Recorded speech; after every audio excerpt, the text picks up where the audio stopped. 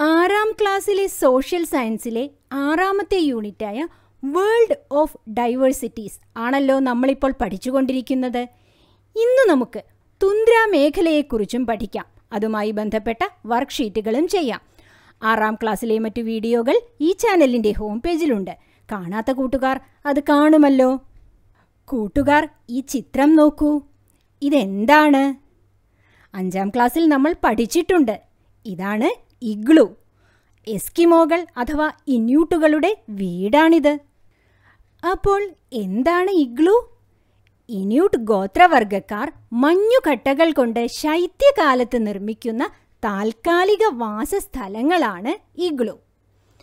Igloo is a temporary house built by Inuit tribes Inuit ഗോത്രവർഗക്കാരെക്കുറിച്ച് കൂടുതൽ അറിയണ്ടേ വടക്കേ America Europe Asia എന്നീ വൻകരകളുടെ വടക്ക് ഭാഗത്ത് സ്ഥിരമായി മഞ്ഞു മൂടിക്കിടക്കുന്ന പ്രദേശങ്ങളിൽ വസിക്കുന്നവരാണ് ഇന്യൂട്ടുകൾ.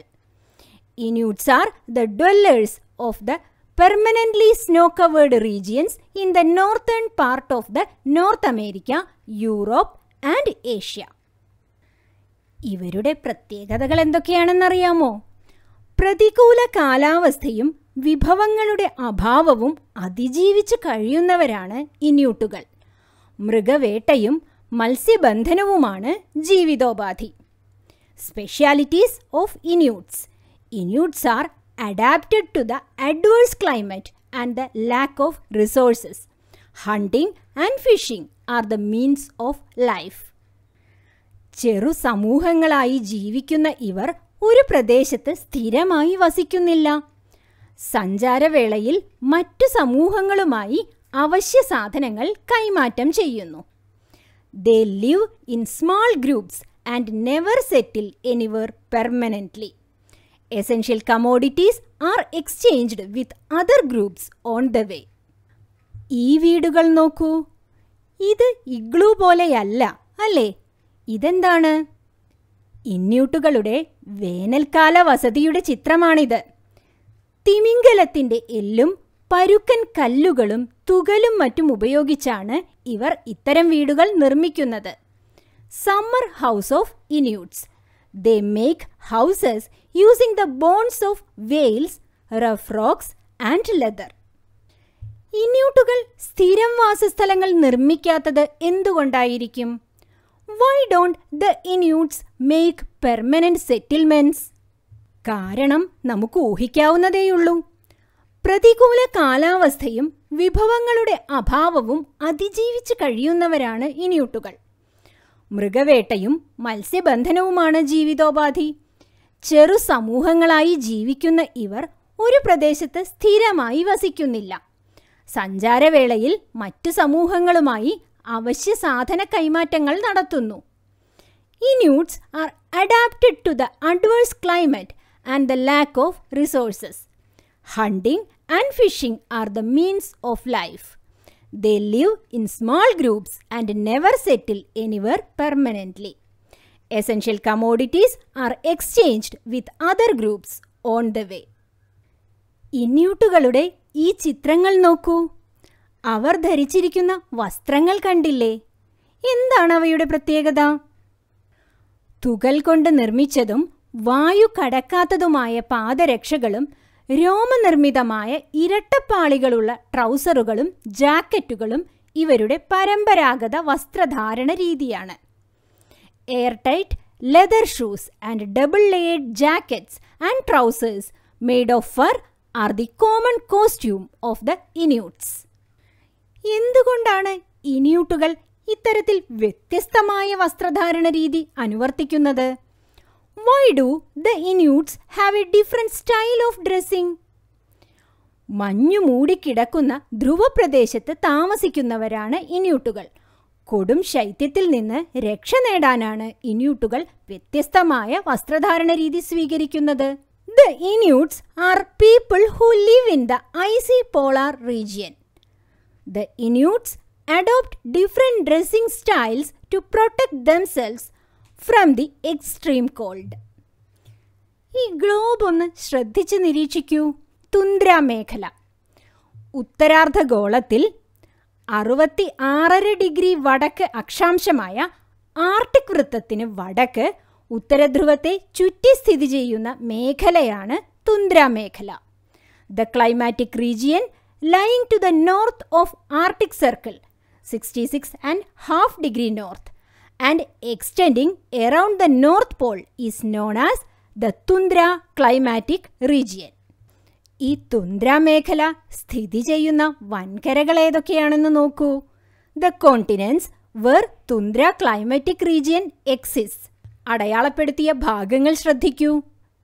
തുന്ദ്ര കാലാവസ്ഥാ മേഖല സ്ഥിതി ചെയ്യുന്ന വൻകരകൾ നമുക്കൊരു പദസൂര്യനായി പൂർത്തിയാക്കി നോക്കിയാലോ. ഏഷ്യ യൂറോപ്പ് വടക്കേ America. The continents where the tundra climatic region exists Asia Europe and North America. Tundra മേഖലയുടെ പ്രത്യേകതകൾ എന്തൊക്കെയാണെന്നറിയാമോ? Characteristics of tundra climatic region തീരെ കുറഞ്ഞ മഴ. വെരി ലോ റെയിൻഫാൾ വിരളമായ സസ്യജാലങ്ങൾ. സ്കേഴ്സ് വെജിറ്റേഷൻ വളരെ കുറഞ്ഞ ജനവാസം. എക്സ്ട്രീംലി ലോ പോപ്പുലേഷൻ ശീതമരുഭൂമി കോൾഡ് ഡെസേർട്ട് ഇവിടത്തെ സസ്യങ്ങൾ ഏതൊക്കെയെന്നോ? മേജർ വെജിറ്റേഷൻ അതിശൈത്യത്തെ അതിജീവിക്കുന്ന പന്നൽ പായൽ തുടങ്ങിയവയാണ് മുഖ്യ സസ്യവർഗങ്ങൾ the major vegetation that survives the extreme cold climate comprises of moss and lichens പുഷ്പിക്കുന്ന ചെറു സസ്യങ്ങളും കുറ്റിച്ചെടികളും ഹ്രസ്വമായ വേനൽക്കാലത്ത് മാത്രം തലയുയർത്തുന്നു. Small flowering plants and shrubs can be seen only during short summers ഉയരമുള്ള സസ്യങ്ങൾ അപൂർവമായേ ഉള്ളൂ.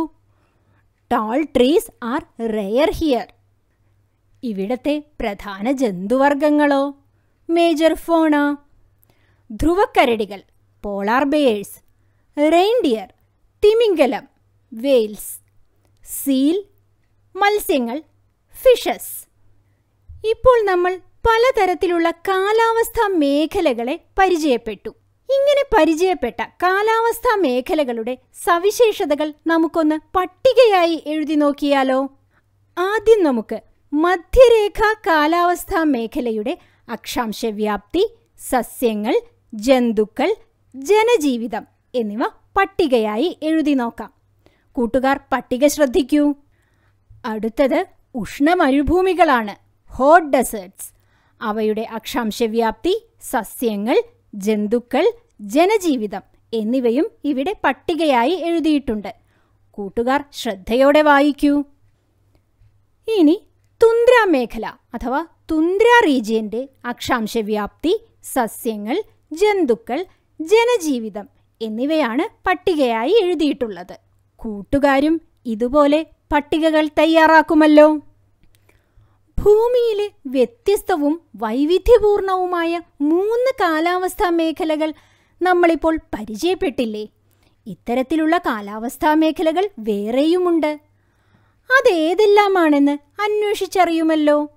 എന്തായിരിക്കാം ഈ മേഖലകളുടെ രൂപീകരണത്തിന്റെ അടിസ്ഥാനം? ചിത്രം നോക്കൂ. ചിത്രം നിരീക്ഷിച്ച് അതിൽ രേഖപ്പെടുത്തിയിരിക്കുന്ന താപീയ മേഖലകൾ തിരിച്ചറിയൂ. മൂന്ന് താപീയ മേഖലകൾ ഏതൊക്കെയാണ്? ടെമ്പറേച്ചർ സോൺസ് ഉഷ്ണമേഖല അഥവാ ട്രോപ്പിക്കൽ സോൺ മിതോഷ്ണമേഖല ടെമ്പറേറ്റ് സോൺ ശൈത്യമേഖല ഫ്രിജിഡ് സോൺ അങ്ങനെയാണെങ്കിൽ വ്യത്യസ്ത കാലാവസ്ഥാ മേഖലകൾ രൂപപ്പെടുന്നതിനുള്ള പ്രധാന ഘടകങ്ങൾ ഏതൊക്കെയായിരിക്കും? ഒരു ഭൂഭാഗത്തിന്റെ സ്ഥാനം സമുദ്ര സാമീപ്യം സമുദ്രനിരപ്പിൽ നിന്നുള്ള ഉയരം.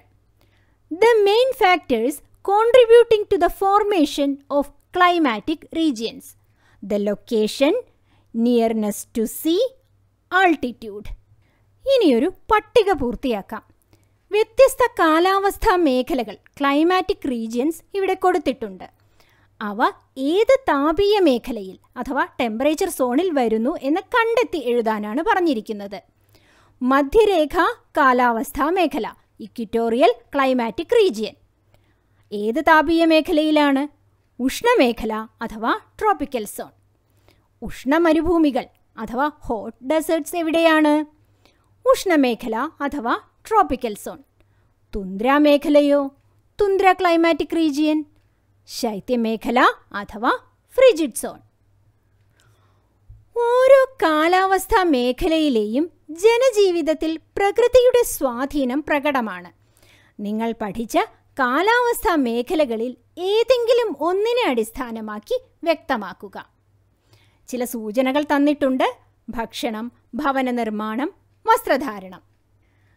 ഇന്ന് നമ്മൾ പഠിച്ച ഇന്യൂട്ടുകളുടെ ഭക്ഷണം ഭവന നിർമ്മാണം വസ്ത്രധാരണം എന്നിവയെ ആസ്പദമാക്കി നമുക്ക് ഈ പ്രവർത്തനം ചെയ്യാമല്ലോ.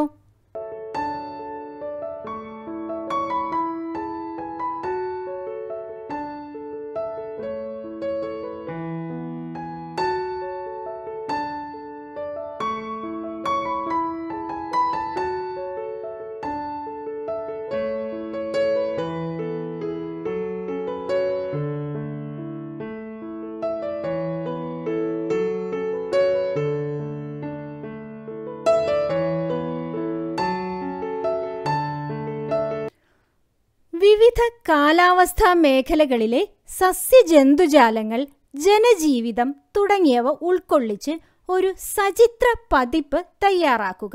വേൾഡ് ഓഫ് ഡൈവേഴ്സിറ്റീസ് എന്ന ഈ പാഠത്തിന്റെ മൂന്ന് വീഡിയോകളിലുമായി നമ്മൾ കണ്ട ചിത്രങ്ങളും അതിന്റെ വിവരണങ്ങളും ചേർത്ത് കൂട്ടുകാർ സചിത്ര പതിപ്പ് തയ്യാറാക്കുമല്ലോ.